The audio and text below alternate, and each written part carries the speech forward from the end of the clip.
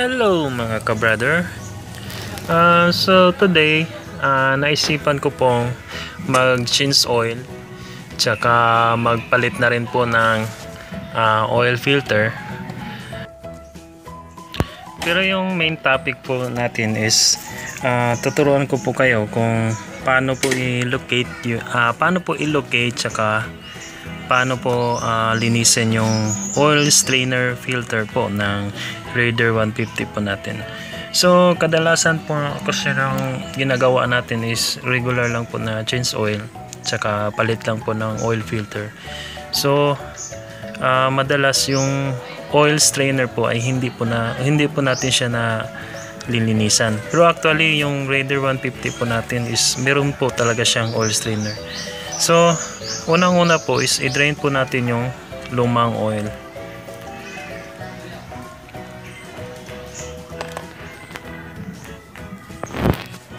So, uh, mag-prepare lang po tayo ng uh, container po para po doon sa lumang oil. So, iwasan lang po natin no, na matapon po siya sa lupa. Uh, para naman po makatulong po tayo sa environment natin.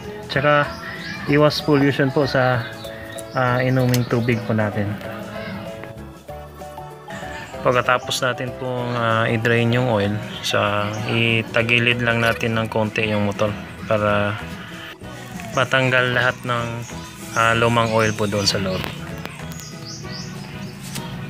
So pagkatapos naman po natin ano uh, susunod naman po natin tanggalin is yung uh, oil filter cap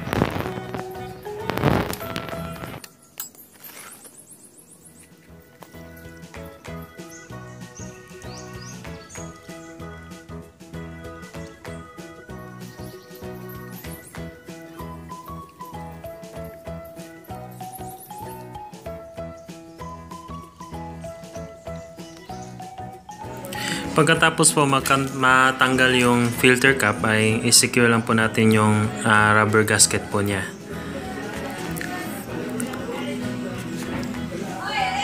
And then kuha lang po tayo ng plier, uh, yung long nose para mahugot po yung lumang oil filter.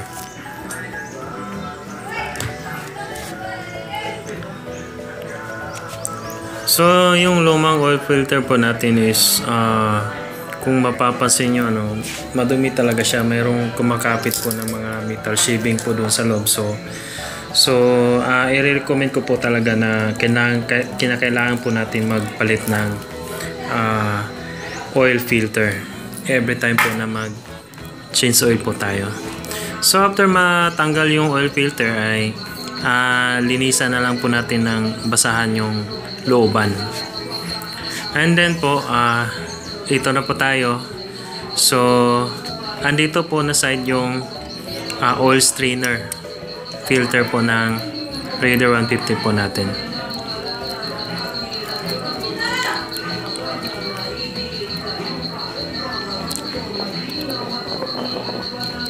So tanggalin lang po natin yung uh, magneto cover para ma-locate po natin yung oil strainer po ng Raider 150 po natin.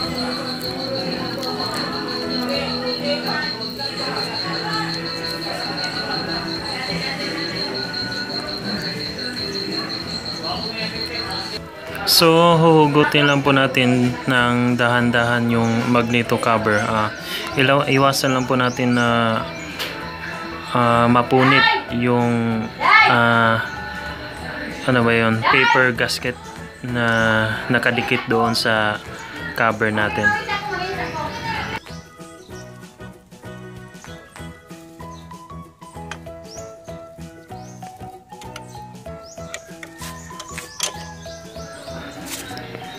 So after po mahugot po yung magneto cover po natin, uh, yung oil strainer po ay dito po siya nakalagay sa ilalim po mismo ng uh, flywheel po ng Raider 150 po natin.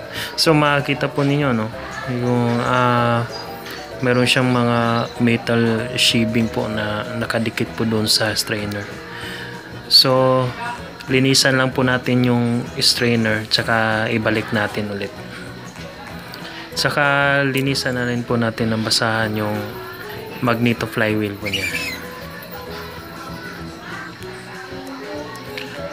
So tanggalin lang man po natin yung mga lumang oil po na nakadikit po doon sa ilalim.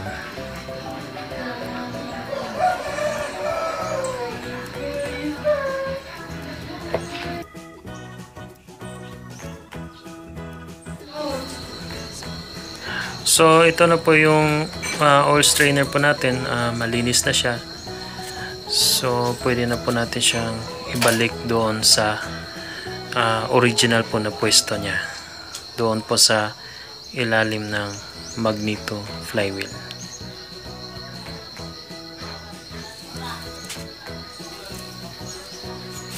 And then uh, pwede na po natin ibalik ulit yung magneto cover po ng uh, radar po natin.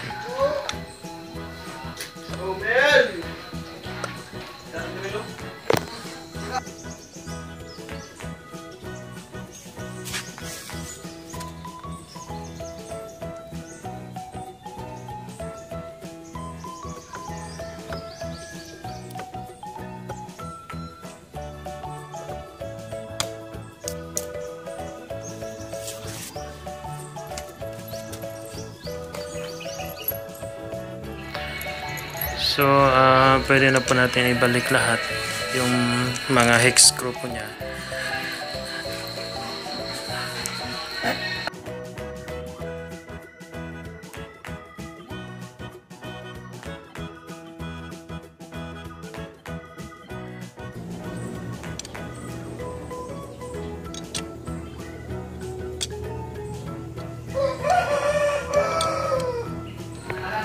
So uh, remember, hand tighten lang po yung pagigpit po natin sa uh, mga bolt po niya para iwas po sa loose thread.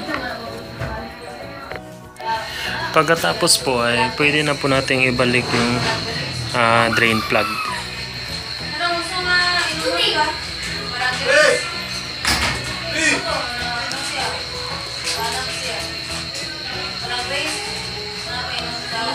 So, uh, hand tighten pa rin po para hindi ma-loose thread.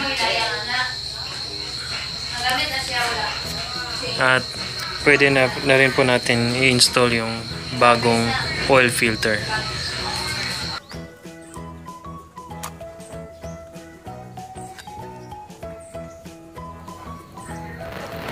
So remember, yung butas niya ay dapat doon po siya sa loob.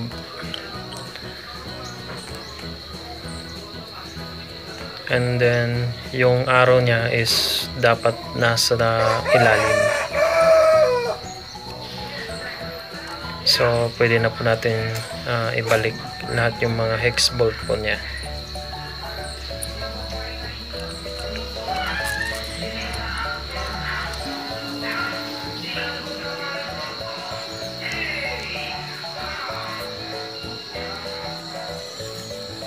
So, hand tighten pa rin po.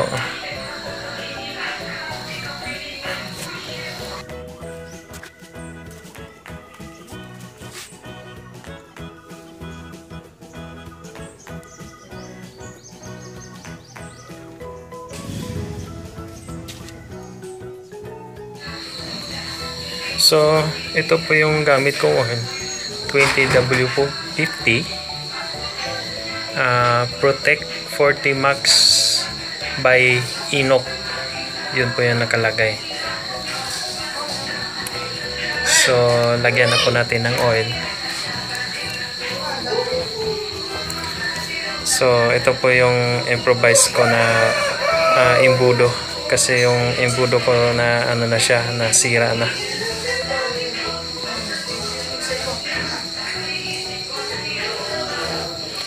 So, ubusin lang po natin yung uh, 1 liter po na oil kasi yun po yung nasa engine specs po na nakalagay.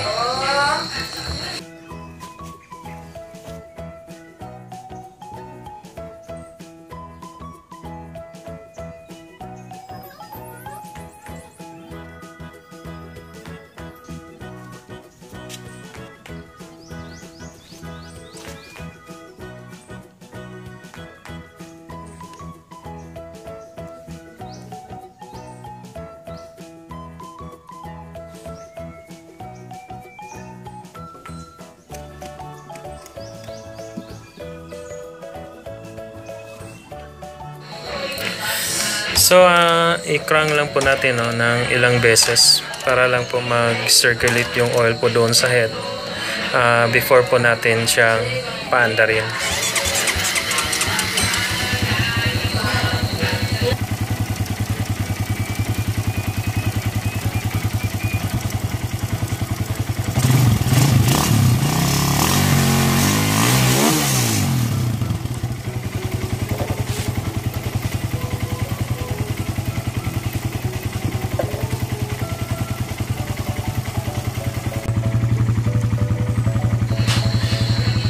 So mga ka-brother, ah, dito po natapos ang ating segment ng ating vlog for today.